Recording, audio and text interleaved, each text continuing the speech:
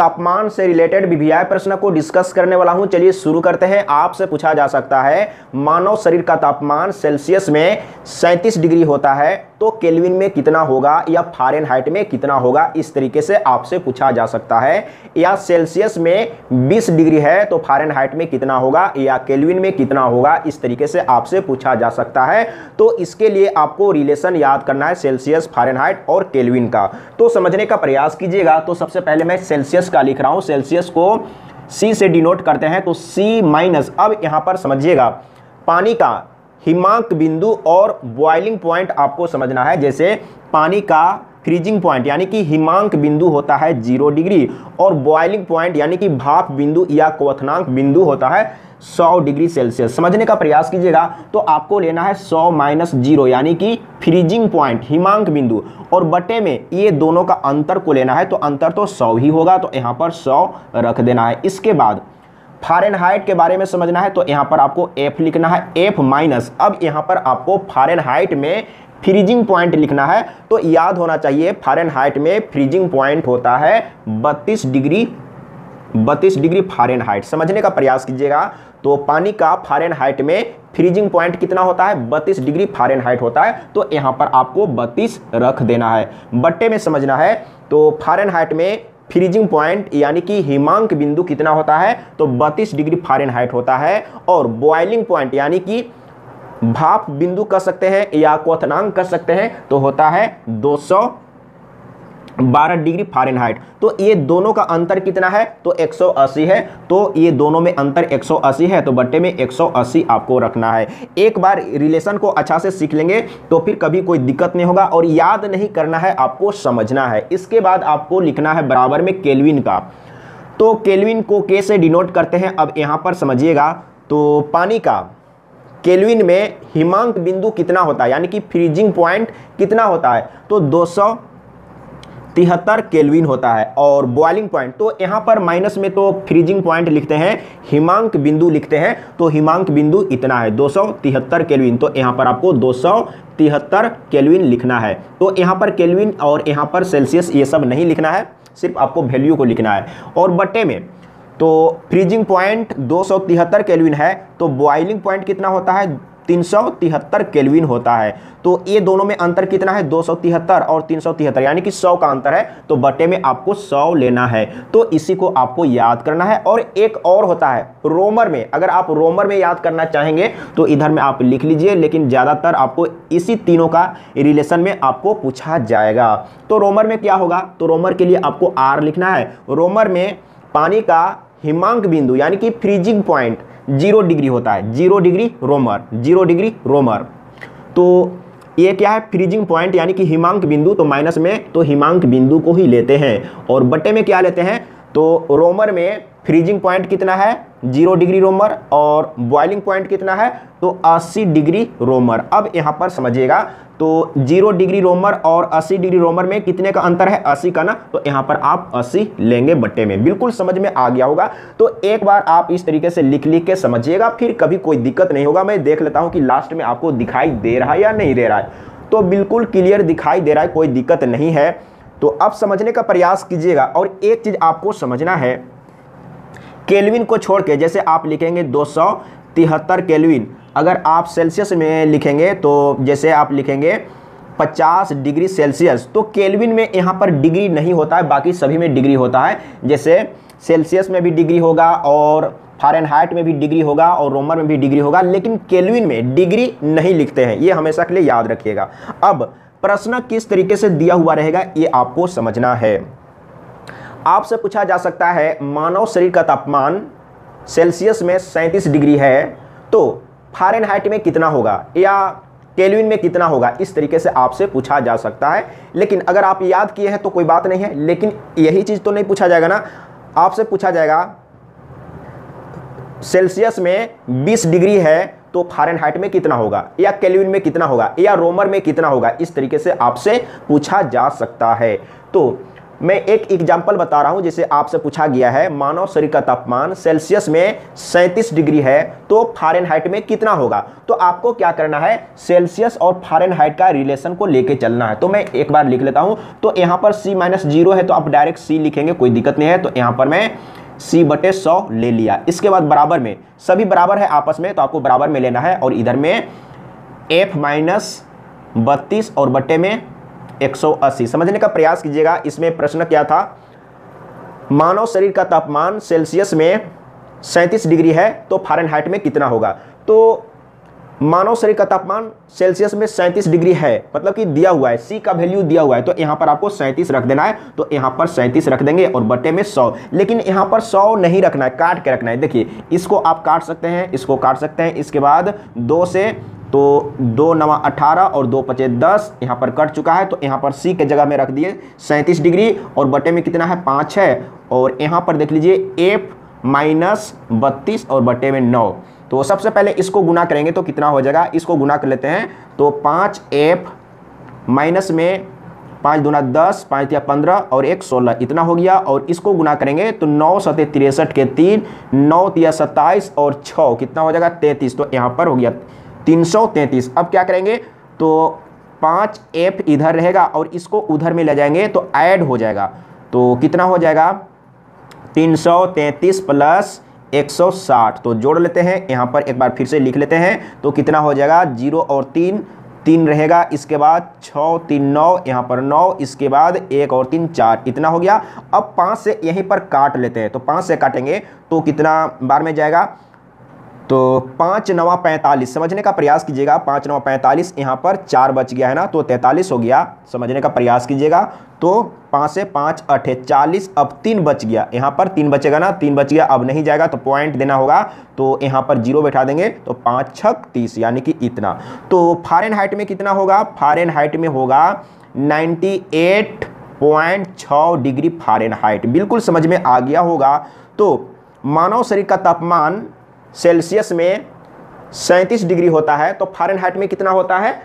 अंठानवे पॉइंट छः degree Fahrenheit ये आपको याद भी कर लेना है। अगर याद किए हुए रहेंगे तो अगर इस तरीके से ऑब्जेक्टिव प्रश्न आया मतलब कि टिक मारने वाला आया है तो आप आसानी से देखते के साथ आंसर दे सकते हैं। और अगर आपको सॉल्व करने वाला प्रश्न है तो आप तो सॉल्व करना ही पड़ेगा। तो एक बार आपको याद भी कर लेना है। मानव शरीर का तापमान सेल्सियस में सैंतीस डिग्री सेल्सियस होता है और फारेनहाइट में अंठानवे पॉइंट छः डिग्री फारेनहाइट होता है। बिल्कुल समझ में आ गया? तो मानव शरीर का तापमान सेल्सियस में सेल्सियस में सैंतीस डिग्री है। तो केल्विन में कितना होगा? तो अब क्या करेंगे? सेल्सियस और केल्विन का रिलेशन को लेकर चलेंगे। बराबर में है ना? सभी आपस में बराबर है। तो आपको क्या करना है? सबसे पहले यहाँ पर सी बटे सौ ले लेना है। बराबर में के माइनस दो सौ तिहत्तर बटे में सौ। अब यहाँ पर देखिए, ये तो और भी आसान है क्योंकि यहाँ से सौ और यहाँ से सौ कट गया। अब आपको समझना है कि यहाँ पर जैसे आपको केल्विन में बताना है तो इसका वैल्यू तो दिया हुआ है ना? जैसे सेल्सियस में मानव शरीर का तापमान दिया हुआ है, सैंतीस डिग्री, उसी को केल्विन में बदलना है। केल्विन में कितना होगा? तो यहाँ पर आपको सैंतीस डिग्री सेल्सियस रख देना है। तो यहाँ पर आपको सैंतीस डिग्री रख देना है। तो रख दिए, इसके बाद अब यहाँ पर देखिए के है और इधर में माइनस दो सौ तिहत्तर है। यही तो नीचे वाला तो कट गया तो तिरछा तिरछी गुना करने का इसमें टेंशन नहीं है, ये तो और भी आसान था। अब क्या करेंगे तो इसको इधर में ले आएँगे तो यहाँ पर सैंतीस और प्लस में हाँ एक चीज़, यहाँ पर मैं मिस्टेक कर रहा हूँ। आपको डिग्री में नहीं लिखना है केल्विन जो होता है केल्विन में जो भी मान आएगा, उसको डिग्री में नहीं लिखना है। यानी कि आप, जैसे यहाँ पर दो सौ तिहत्तर है तो दो सौ तिहत्तर डिग्री केल्विन नहीं पढ़ेंगे। यानी कि डिग्री लिखना ही नहीं है। तो क्लियर है। अब क्या करेंगे? इसको इधर में ले आएँगे तो प्लस में हो जाएगा तो दो सौ तिहत्तर और इधर में के यानी कि केल्विन तो सात तीन दस के ज़ीरो, इसके बाद फिर से सात तीन दस और एक ग्यारह के एक, हाथ में एक, दो और एक तीन, यानी कि तीन सौ दस। केल्विन में कितना होता है? मानव शरीर का तापमान केल्विन में कितना होता है? तो 310 केल्विन होता है। हमेशा के लिए याद कर लीजिए। अब मैं यहाँ पर फिर से रिपीट कर देता हूँ। मानव शरीर का तापमान सेल्सियस में सैंतीस डिग्री सेल्सियस होता है और फारेनहाइट में अंठानवे अंठानवे पॉइंट छः डिग्री फारेनहाइट होता है और केल्विन में 310 केल्विन होता है। इसमें डिग्री नहीं लिखना है। तो ये तीन चीज़ आपको याद करना है। हमेशा के लिए याद कर लीजिए ताकि फिर कभी कोई दिक्कत नहीं होगा। और इस तरीके से अगर ऑब्जेक्टिव प्रश्न आया तो आप आसान तरीके से लिख लेंगे, कोई दिक्कत नहीं है। अब एक चीज़, बीबीआई प्रश्न मैं बताने वाला हूँ। बीबीआई प्रश्न, एक प्रश्न बीबीआई है और वो प्रश्न है सेल्सियस और फारेनहाइट में। सेल्सियस और फारेनहाइट में कौन सा मान या कौन सा रीडिंग बराबर होता है? यानी कि सम्मान होता है। ये आपको हमेशा के लिए याद रख लेना है या समझना है। समझने का प्रयास कीजिएगा। इसमें क्या है? सेल्सियस और फारेनहाइट में कौन सा मान, कौन सा रीडिंग बराबर होता है? तो अब यहाँ पर क्या करना है? तो सेल्सियस और फारेनहाइट की बात हो रहा ना तो दोनों को आपको ले लेना है। तो सी बटे सौ हो जाएगा। इसके बाद बराबर में एफ़ माइनस बत्तीस और बट्टे में एक सौ अस्सी। अब यहाँ पर समझिएगा तो सबसे पहले ज़ीरो काटना है, नौ दूना अट्ठारह और दो से इसको दो पचे दस। ये कट चुका है ना तो यहाँ पर आपको क्या करना है? अब यहाँ पर समझिएगा तो प्रश्न क्या है? मैं प्रश्न को तो लिखा नहीं हूँ, लेकिन मैं बोल रहा हूँ, समझने का प्रयास कीजिएगा। सेल्सियस और फारेनहाइट में कौन सा मान या कौन सा रीडिंग बराबर होता है? तो आपको क्या करना है? सी और एफ़ के जगह में बराबर वैल्यू रख देना है। मान के चलते हैं कि दोनों में एक्स का मान बराबर है। एक्स रीडिंग बराबर है। तो यहाँ पर भी एक्स रखेंगे, यहाँ पर भी एक्स रखेंगे। तो एक्स रख दिए और बटे में तो यहाँ पर पाँच है और इधर में क्या है? तो एफ़ के जगह में एक्स रखेंगे और यहाँ पर 32 और बटे में 9 अब समझने का प्रयास कीजिएगा तो सबसे पहले इसको गुना कर लेते हैं तो यहाँ पर 9x होगा और इसको गुना करेंगे तो 5x और इसको गुना कर देंगे तो यहाँ पर 160 होगा। अब क्या करेंगे, इसको इधर में लाएँगे तो घटेगा ना तो जैसे यहाँ पर प्लस में है तो इधर में आके माइनस होगा तो इसके साथ घटेगा तो मैं डायरेक्ट लिख देता हूँ, यहाँ पर चार एक्स होगा और इधर में कितना है, माइनस एक सौ साठ है। तो अब चार से काट लेते हैं यहीं पर तो क्या हो जाएगा चार चौके सोलह और एक ज़ीरो। कट गया है ना? तो x बराबर आ गया है माइनस चालीस डिग्री। अब यहाँ पर हमेशा के लिए याद रखिएगा, यानी कि माइनस चालीस डिग्री का जो रीडिंग है, मान है, वैल्यू है फारेनहाइट और सेल्सियस दोनों में बराबर होता है, समान होता है। तो ये वीवीआई प्रश्न है, इस तरह का प्रश्न बहुत बार आया हुआ है तो इसको आप याद भी कर सकते हैं कि फारेनहाइट और सेल्सियस में कौन सा मान या कौन सा रीडिंग बराबर होता है, समान होता है तो माइनस चालीस डिग्री। हमेशा के लिए याद रखिएगा तो यहाँ पर डिग्री लिख भी सकते हैं, या नहीं भी लिखेंगे, कोई दिक्कत नहीं है, लेकिन जब भी आप पूरा लिखेंगे, जैसे 40 डिग्री फारेनहाइट या माइनस चालीस डिग्री फारेनहाइट या माइनस चालीस डिग्री सेल्सियस तो जब आप सेल्सियस में लिखेंगे तो डिग्री होगा फारेनहाइट में लिखेंगे तो डिग्री होगा रोमर में लिखेंगे तो डिग्री होगा, लेकिन केल्विन में डिग्री नहीं होता है। आप ये नहीं कह सकते हैं कि 100 डिग्री केल्विन 100 100 डिग्री केल्विन नहीं कह सकते हैं। अगर 100 है तो 100 केल्विन आप कह सकते हैं। तो इसमें आपने क्या सीखा? अगर मानो शरीर का तापमान सेल्सियस में सैंतीस डिग्री है सेल्सियस में सैंतीस डिग्री है तो फारेनहाइट में कितना होगा, आप निकाल सकते हैं, या केल्विन में कितना होगा, आप निकाल सकते हैं, या आपसे पूछा गया है कि फारेनहाइट में 36 डिग्री है तो सॉरी सेल्सियस में 36 डिग्री है तो फारेनहाइट में कितना होगा, या केल्विन में कितना होगा, या रोमर में कितना होगा तो आप आसान तरीके से निकाल सकते हैं, या केल्विन में दिया हुआ है, उसका आपको निकालना है। फारेनहाइट में सेल्सियस में या रोमर में। तो इस तरीके से आपको प्रैक्टिस करना है। तो आप कोई भी एग्ज़ाम्पल ले सकते हैं। जैसे आप मान के चल सकते हैं कि सेल्सियस में कोई मान दिया हुआ है। जैसे सेल्सियस में 50 डिग्री दिया हुआ है। तो सेल्सियस में 50 डिग्री है तो फारेनहाइट में कितना होगा? केल्विन में कितना होगा? रोमर में कितना होगा? तो इस तरीके से आप प्रैक्टिस ज़रूर करिएगा। और सबसे बड़ी बात है कि ये जो रिलेशन है ना, इस रिलेशन को आप एक बार अच्छा से लिखने के लिए सीखिए। इसमें क्या था, मैं एक बार रिपीट कर देता हूँ। अगर किन्हीं को डाउट हुआ होगा तो मैं एक बार रिपीट करता हूँ शॉर्टकट में। तो यहाँ पर ये सेल्सियस है सेल्सियस माइनस पानी का हिमांक बिंदु, यानी कि फ्रीजिंग पॉइंट कितना होता है? ज़ीरो डिग्री तो यहाँ पर ज़ीरो लेना है। और समझिएगा, पानी का फ्रीजिंग पॉइंट ज़ीरो डिग्री और बॉइलिंग पॉइंट सौ डिग्री। तो ये दोनों में अंतर सौ तो बटे में सौ, यानी कि यही दोनों का अंतर को लेते हैं। अगर आप फारेनहाइट की बात करें, मैं थोड़ा दूर दूर लिख लेता हूँ, सभी को लिखना है ना? तो यहाँ पर सी माइनस ज़ीरो और बटे में हंड्रेड था ना? इसके बाद इसके लिए समझिए फारेनहाइट माइनस अब यहाँ पर आपको समझना है, यहाँ पर जो बत्तीस लिखे हैं फारेनहाइट में पानी का हिमांक बिंदु, यानी कि फ्रीजिंग पॉइंट कितना है? बत्तीस डिग्री है। तो यहाँ पर बत्तीस रखेंगे और बटे में क्या रखेंगे? तो फारेनहाइट में पानी का फ्रीजिंग पॉइंट कितना है? यानी कि हिमांक बिंदु 32 डिग्री और बॉइलिंग पॉइंट 212 डिग्री। तो बटे में क्या लेंगे? ये दोनों का अंतर तो कितना होगा? 180 होगा। समझने का प्रयास कीजिएगा। इसके बाद केल्विन के बारे में समझ लीजिए। तो केल्विन में क्या होता है? के माइनस तो केल्विन में पानी का फ्रीजिंग पॉइंट, यानी कि हिमांक बिंदु कितना होता है? दो सौ तिहत्तर होता है। और बटे में क्या लेंगे? तो हिमांक बिंदु दो सौ तिहत्तर होता है। तो बॉइलिंग पॉइंट कितना होता है?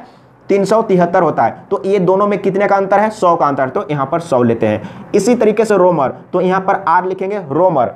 तो आर माइनस, अब यहाँ पर समझिएगा रोमर में पानी का हिमांक बिंदु होता है ज़ीरो डिग्री रोमर। तो यहाँ पर हिमांक बिंदु को लिखते हैं। तो ज़ीरो लिखेंगे। इसके बाद बट्टे में हिमांक बिंदु ज़ीरो है और बॉइलिंग पॉइंट कितना है? 80 डिग्री रोमर। तो ज़ीरो और 80 में अंतर कितना है? 80 का है तो यहाँ पर बटे में 80 इसी रिलेशन को याद रखिएगा तो आप, आपसे मतलब कि इसमें से कोई एक दिया हुआ रहेगा और दूसरे में आपको कन्वर्ट करने के लिए कहा जाएगा, निकालने के लिए कहा जाएगा तो आप आसान तरीके से निकाल सकते हैं।